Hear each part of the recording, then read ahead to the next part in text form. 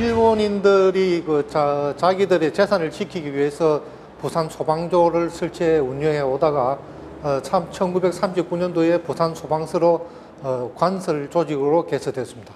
어, 되고 1962년도에 에, 부산 중부 소방서로 명칭이 바뀌었고 1967년도에 현재 위치에 건축돼서 지금까지 오고 있습니다. 예, 중부 소방서는 뭐 아시다시피 부산의 원도심에 위치해 있습니다. 부산의 상징이라고 할 수 있는 남포동, 자갈치 시장, 국제시장 등을 관할하고 있는 그런 특색을 지니고 있습니다.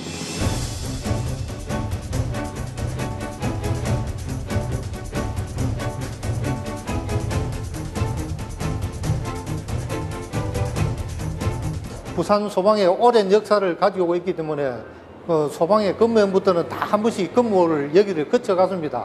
저 같은 경우도 뭐 저희 제가 소방관 2대인데 저희 아버님도 여기 근무를 하셨고 그때 뭐 아마 좀 뜻깊은 장소라 그렇게 생각하고 있습니다. 그 현재 어, 1939년도 중부 소방서가 개설해가지고 현재 11개 소방서가 있는데 어, 그 중에서 가장 뛰어난 소방이 될 수 있도록 우리 어, 204명의 중부 소방서 직원들은 최선을 다하겠습니다.